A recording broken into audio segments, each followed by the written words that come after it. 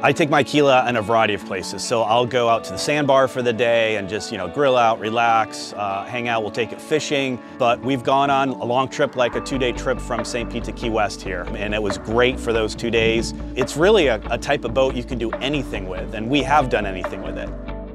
I mean, I can't tell you enough about how great the amenities are in the Aquila. So we can really take it anywhere. We'll go down, find a cove, throw an anchor, spend the night. We can take it for a day trip. We can take it for a three-day trip.